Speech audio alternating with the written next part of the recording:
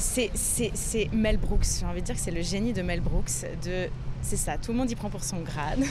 Ouais. ce qu'on disait ici, peut-être qu'on dit différemment. Mais en tout cas, c'est ça, c'est une pièce très très drôle. On trouve la pire pièce jamais écrite. Qu'est-ce que vous lui volez ma pièce Nous voudrions la produire sur Broadway Moi, j'interprète Oula, qui est une, donc une jeune femme suédoise.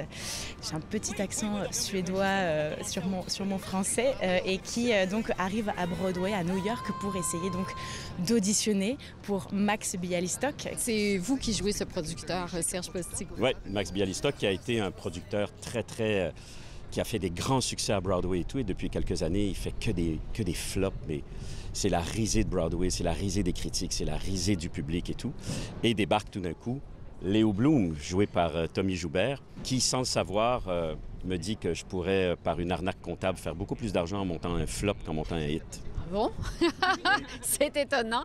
Oui, on ne sait pas à quel point ça arrive dans le milieu pour vrai, par exemple.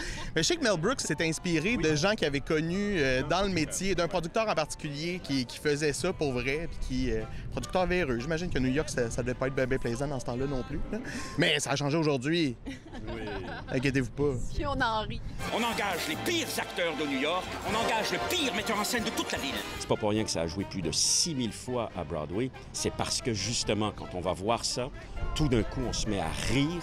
Et en plus, on est au spectacle. C'est une vraie comédie musicale avec tous les codes et le, comme on dit en latin, le wow factor des comédies musicales dans la plus pure tradition de Broadway. Ça bouge beaucoup dans ce show-là. C'est un feu roulant qui n'arrête jamais. là. Moi, je crois que Québec va sortir du Capitole en chantant Reste gay. Reste gay